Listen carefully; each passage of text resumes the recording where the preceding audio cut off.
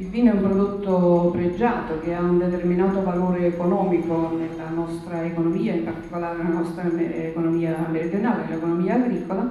I vini vengono identificati con marchi di produzione e quindi il produttore nel momento in cui si presenta sul mercato con un marchio comunica al consumatore la qualità del proprio prodotto e di comunicare proprio il territorio. I nostri vini sono frutto della storia della viticoltura dei vitigni che sono stati eh, impiantati, in, importati in, nella nostra regione. La Campania è un serbatoio praticamente di questi vitigni.